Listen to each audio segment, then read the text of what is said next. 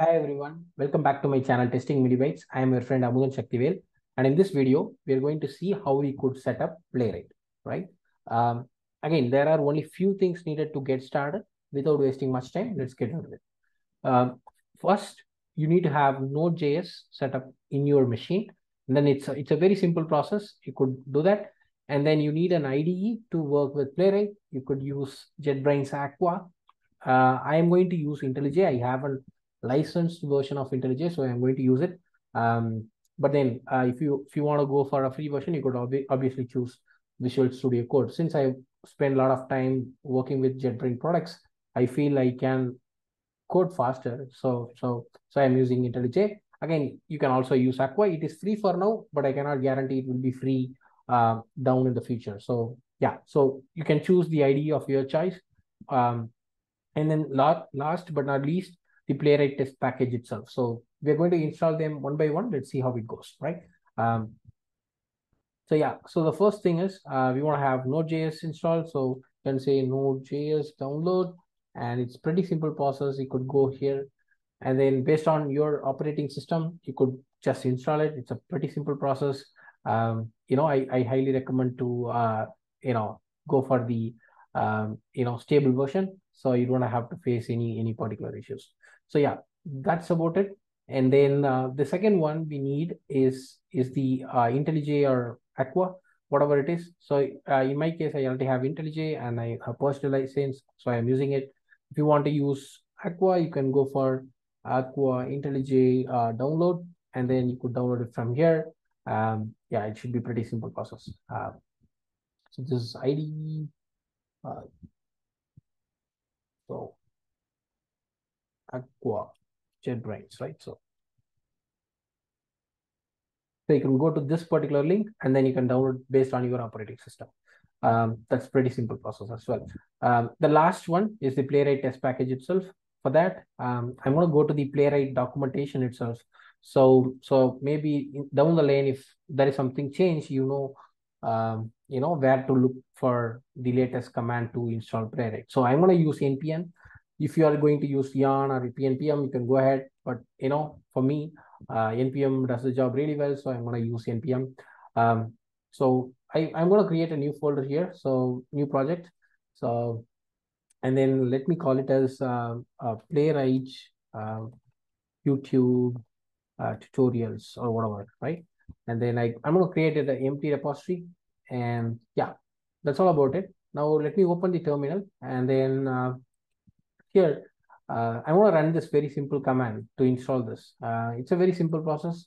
Uh, you don't have to, um, since we are going to use TypeScript, um, you know, it will be, you know, you don't have to install it before itself. Even if you install it, that's okay. But, you know, while you run this command, it'll give you an option to whether you want to choose Playwright, uh, sorry, Playwright with TypeScript, you can choose it, right? So now I'm clicking on enter here. And then it asks me um, what kind of language that you want to use. Um, yes, you can choose TypeScript. I highly recommend TypeScript because of its uh, advantages. Uh, we will cover that in the upcoming videos, but for now, let's keep it much simple here. Uh, let me choose TypeScript, and you can choose any particular um, pack, uh, name for your directories where you want to store your test. Uh, for now, you can choose it to be test, uh, untest. You want a GitHub Actions workflow. Um, we can add it later. We can create it by ourselves. It's not a big deal. So for now, let's go with the default. Um, it's asking me, do you want to install Playwright browsers? So uh, for me, I already have them installed. Um, or it, what it does is it installs all the three browsers. So WebKit, Chromium, and then the Firefox. So I don't want all of this. If you think you don't want all of this, you can choose no, and then you can, you know, you can install it by yourself. Um, for example, if you want to install just the um, just the Chromium thing, uh, playwright install hyphen hyphen with deps Chromium, right? So you could use this particular command to install it for you. In my case, it's already there, so it's just took a bit of second and then it populates. But in your case, it will download it. Based upon your uh, requirement, you can download the browsers you want. And I'm going to focus mostly on the Chrome part. So yeah, so we, are done with the setup and this gives us the uh, really good folder structure here. And if you notice, we have got the package.json and these are the two important things that we need. uh, playwright test, which is very, very important, which helps to write our playwright test and the types uh, from the node that that's going to help us, you know, debugging and stuff like that. Um, and now the other one that is really important for us is the playwright config.ts. Um, so you should see a file like this. We will come to, uh, you know, these things and dive into much detail. But for now, let's see if you could run a test. Okay. So, the, so you could run either the test examples or the test folder here. So for example, I want to run this test. Um, and let's see if our setup is correct. So npx playwright um,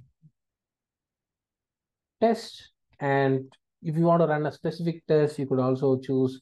So I want to run a test inside the test folders, um, example.spec.ts. You can also use this command, but then this will only run it in headless mode. So what I'm going to do is I can choose hyphen hyphen headed. So it, it runs with the UI. So you could see the test execution. Okay, and then the problem is I don't have Firefox and WebKit installed. So, so it's failing for me, but the other two tests have passed. What you can do is um, you can go to playwright.config.ts and then you can see here, this is the kind of code. Um, this is the project that lets the test also runs on other browsers. We don't want to do cross-browser testing for now, so let me comment this whole thing.